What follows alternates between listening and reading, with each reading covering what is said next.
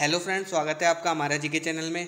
आज हम इस वीडियो में एंसाइंट हिस्ट्री में, वैदिक काल के सभी इंपॉर्टेंट क्वेश्चनों को डिस्कस करेंगे। फ्रेंड्स, ये क्वेश्चन या तो लास्ट ईयर के एग्जामों में पूछे गए हैं, या आने वाले एग्जामों के पॉइंट ऑफ़ व्यू से बहुत ही ज़्यादा इंपॉर्टेंट है। फ्रेंड्स, इन क्वेश्चनों को मैंने ज़्यादा डीप में नहीं बताया है। केवल आप ऊपर ऊपर की चीज़ें अगर ध्यान रख लेंगे तो आपको अच्छे से ये क्वेश्चन ध्यान रह जाएँगे। फ्रेंड्स, इसमें ज़्यादा डीप में घुसने की भी ज़रूरत नहीं है। केवल आप ऊपर ऊपर की चीज़ें थोड़ा से याद रखिए तो आप उससे क्वेश्चनों को सॉल्व कर सकते हैं आराम से। ओके? और फ्रेंड्स, इन्हीं में से ही घुमा के क्वेश्चन पूछे जाते हैं, कुछ भी बाहर नहीं जाता है। तो हर एक क्वेश्चन की जो जो मैं एक्सप्लेशन बताऊँ, उसको अच्छे से आप ध्यान रखें। तो फ्रेंड्स, वैदिक काल जो है वो दो भागों में डिवाइड हुई है, पूर्व वैदिक काल और उत्तर वैदिक काल। फ्रेंड्स 1500 से 1000 बीसी तक का जो समय था वो पूर्व वैदिक काल में आया और जो 1000 से 600 बीसी तक का समय था, वो उत्तर वैदिक काल में आया। फ्रेंड्स वेद का जो अर्थ होता है, वो होता है ज्ञान। ओके तो फ्रेंड्स बाकी की चीज़ें हम क्वेश्चनों में डिस्कस करेंगे। तो चलिए चलते हैं क्वेश्चनों की तरफ़। फ़र्स्ट क्वेश्चन है, वेदों की संख्या कितनी है? फ्रेंड्स वेदों की संख्या है चार। कौन कौन से वेद हैं? ऋग्वेद, सामवेद, यजुर्वेद और अर्थवेद। फ्रेंड्स आप इस को इन्हीं सीरीज़ में ध्यान रखना। सबसे पहले आया था ऋग्वेद, उसके बाद सामवेद, फिर आया था यजुर्वेद और फिर अर्थवेद। ओके अच्छा फ्रेंड्स वेदों की रचना करी किसने थी तो वेदों की रचना करी थी आर्यांश ने। ओके तो आप इसे ध्यान रखना। नेक्स्ट क्वेश्चन है, किस वेद में प्राचीन वैदिक युग की संस्कृति के बारे में सूचना दी गई है? तो फ्रेंड्स ऋग्वेद में ये सूचना दी गई है।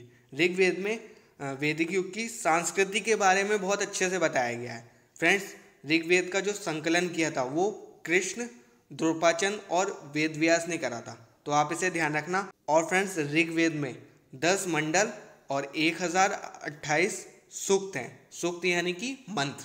फ्रेंड्स, ये जो सूक्त हैं, ये कई बार एग्ज़ाम में पूछे गए हैं कि ऋग्वेद में कितने सूक्त हैं। तो आप इस क्वेश्चन को ध्यान रखना। इसमें एक हज़ार अट्ठाईस सूक्त हैं। ओके नेक्स्ट क्वेश्चन है आर्य भारत में बाहर से आए और सर्वप्रथम बसे थे।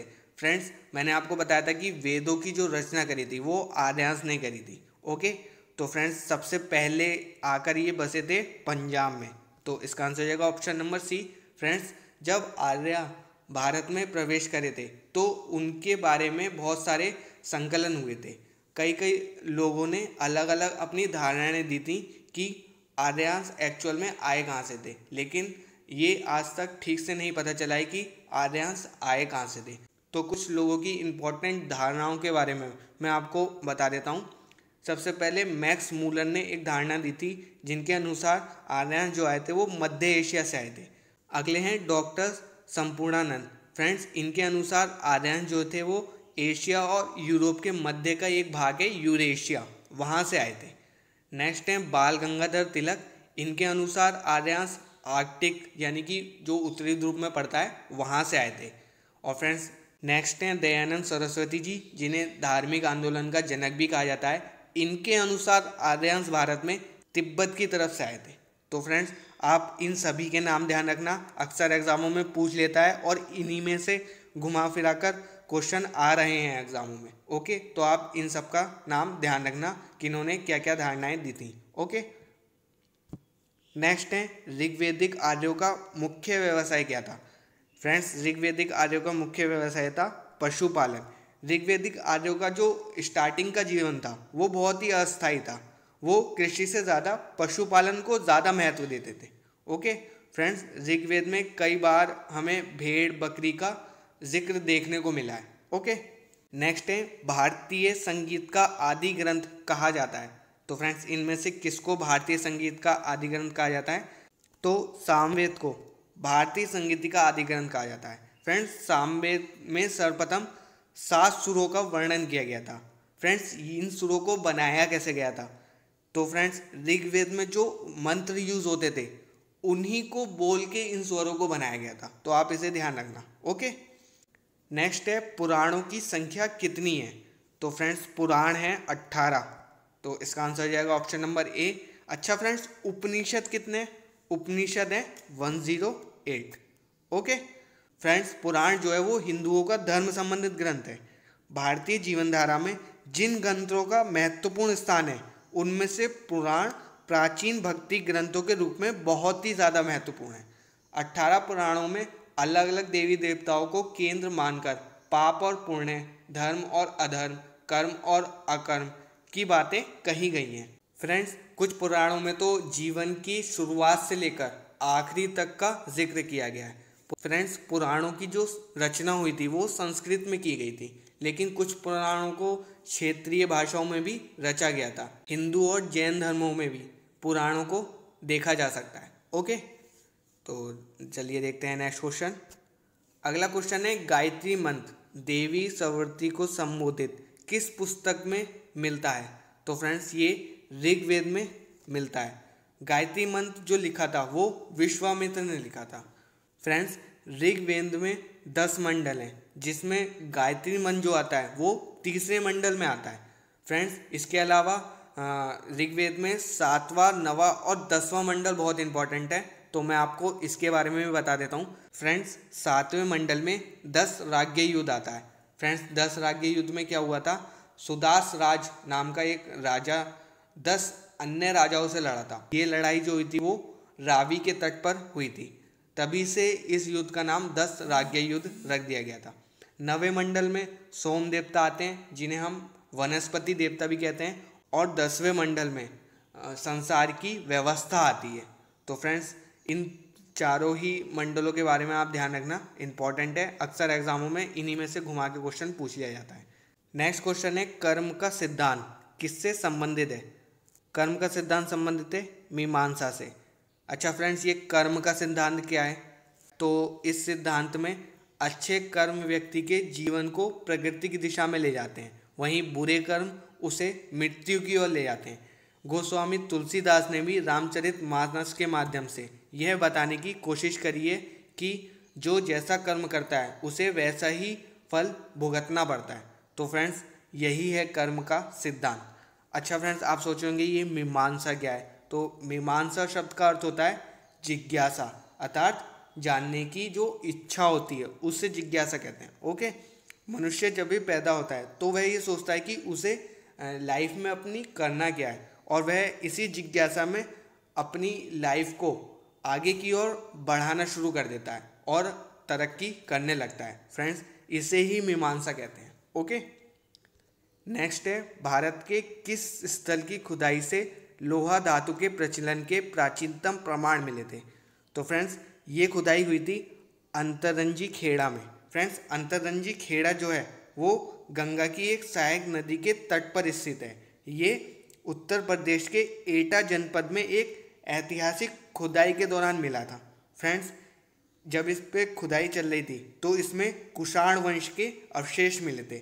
और फ्रेंड्स, यहाँ से लाल बर्तन, मध्ययुगीन, चमकदार बर्तन और भी अन्य चीज़ों के भी अवशेष यहाँ से मिले थे। ओके? नेक्स्ट है, उत्तर वैदिक काल में किस देवता को सर्वोच्च स्थान प्राप्त था? फ्रेंड्स, इस समय प्रजापति जो थे, इन्हें सबसे ज़्यादा माना जाता था। अच्छा फ्रेंड्स मृत्यु लोक का देवता किसे कहा जाता है? तो मृत्यु लोक का देवता कहा जाता है परिशिक्षित को। ओके नेक्स्ट क्वेश्चन है, आर्यो के आर्टिक होम सिद्धांत का पक्ष किसने लिया था? तो फ्रेंड्स मैंने आपको क्वेश्चन के स्टार्टिंग में एक क्वेश्चन बताया था, जिसमें मैंने आर्यो के भारत में प्रवेश करने के बारे में बताया था और कई कई लोगों की धारणाओं के बारे में बताया था कि किन किन लोगों ने कैसी कैसी धारणाएँ दी थी। तो उसी से रिलेटेड ये क्वेश्चन है। आप देख ही रहे होंगे कितनी बार एग्जामों में पूछा गया है।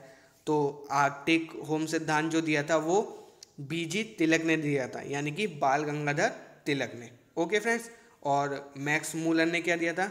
कि आर्या साहित्य मध्य एशिया से। और दयानंद सरस्वती ने क्या दिया था? कि आर्या साहित्य तिब्बत से। ओके नेक्स्ट है, ऋग्वेद में कितनी सुक्ति हैं तो ऋग्वेद में है एक हज़ार अट्ठाईस सुक्तियाँ। यानी मंत्र, ओके? नेक्स्ट है पूर्व वैदिक आर्यों का धर्म प्रमुखता क्या था?